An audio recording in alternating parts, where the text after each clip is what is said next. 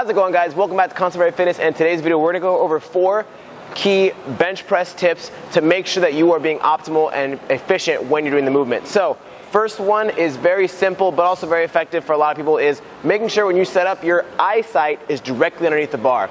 If Shawna were to slide a few inches up on the bench and then try to unrack the bar, the hooks are pretty close to in the way and then sometimes people might do that or nick them and it kind of throws off the whole lift, especially if you're going for a one rep max. So make sure every single time Eyes are directly underneath the bar, then unrack it and bring it over your chest so you have plenty of clearance and the hooks won't get in the way.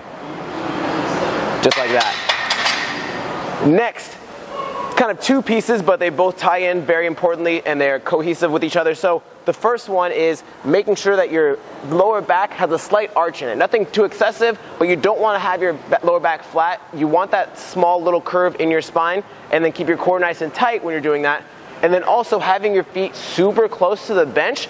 And if you can, have your heels flat on the floor. If not, snag a plate or something that you can wedge underneath your feet and the floor so you can have that flat foot and keep your feet really close to you. This is going to help make you nice and stable and allow you to apply optimal force up and not lose any uh, force or stability in the bench. So, for example, if Shawna were to raise her feet off the floor, I could wiggle her pretty easily. Whereas she puts her feet on the floor, now she's nice and stable and she's solid. And she, when she presses uh, up, up on the bar against that bench, she's going to be applying all her force into that bar, which is what we want. Why would you waste any energy?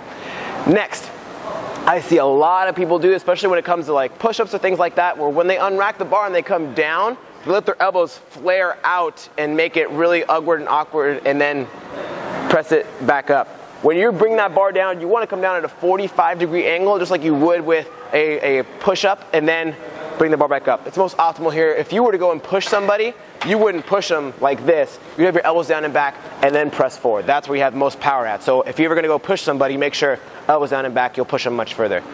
Lastly, make sure when you are pressing that bar all the way up and extending your arms, you're keeping your shoulders down and back and your back and your lats and your back nice and wide. So what I mean by that is, Shawna, go ahead and show me, and you pressing up a little too far on the bar where her like she's raising her shoulders off the bench and she's like over exaggerating that press.